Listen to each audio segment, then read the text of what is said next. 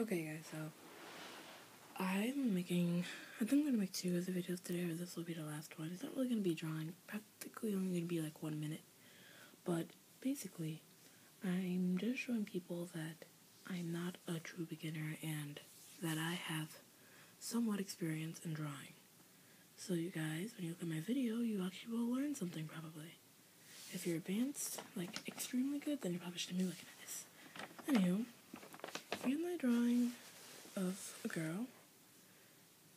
Um, it's Tiffany Albert. Yes, it doesn't really look like her, but I think I did a pretty good job for my age. And right now, guys, my age is 11 years old, and I think I did pretty good. Okay, so, you know, I have nothing else to show. In my next video, I'm probably going to be showing you guys how to draw the female in third person. I'm sorry, not third person. So he's talking about video games. I mean third quarter view. And if I can find it, I'll show it to you guys. If I can't, then for you and me. So I'm just gonna play real quick.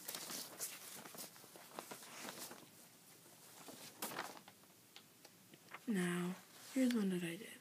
Now around here, like her breath and everything. Yeah, not the best shape. I'm working on that, but I'm actually just gonna show you guys how to draw a face, and maybe that face. And then there's this website called Drago Art that I learned how to draw this one from. Probably you guys wanna go oh, and check it out. DragoArt.com. And then I'll try to draw now.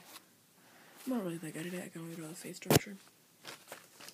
So yeah, that's this video, and I'll probably show you how to draw one of those in my next video. Thanks guys for watching. Comment, like, and subscribe.